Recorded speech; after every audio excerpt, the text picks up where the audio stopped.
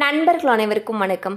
இன்னைக்கு நம்ம இந்த வீடியோல மூன்றாவது முறையாக பிரதமர் மோடி அவர்கள் இன்று பதவியேற்க உள்ள நிலையில் மிக முக்கியமான தகவல் ஒன்று வெளியாகி இருக்கு. ஸோ அதை பத்தி தான் இப்போ நம்ம பார்க்க போறோம். நடந்து முடிந்த பதினெட்டாவது மக்களவை தேர்தலில் இருநூத்தி தொண்ணூத்தி இரண்டு தொகுதிகளில் வென்று என்டிஏ கூட்டணி அரசின் பிரதமராக மோடி அவர்கள் மூன்றாவது முறையாக இன்று பதவியேற்க உள்ளார். இந்நிலையில் பாஜக தேர்தல் அறிக்கையில் பல்வேறு அறிவிப்புகளை வெளியிட்டிருந்தது.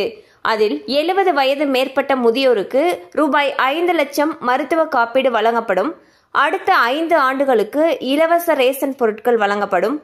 சமையல் எரிவாயு சிலிண்டர் வழங்கும் உஜ்வாலா திட்டம் நீட்டிக்கப்படும். ஏழைகளுக்கு இலவச மின்சாரம் வழங்கப்படும்.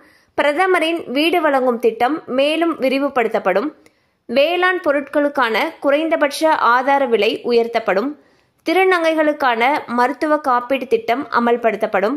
பெண்களுக்கு ஒரு ரூபாயில் சானிட்டரி நாப்கின் வழங்கும் திட்டம் அறிமுகப்படுத்தப்படும்.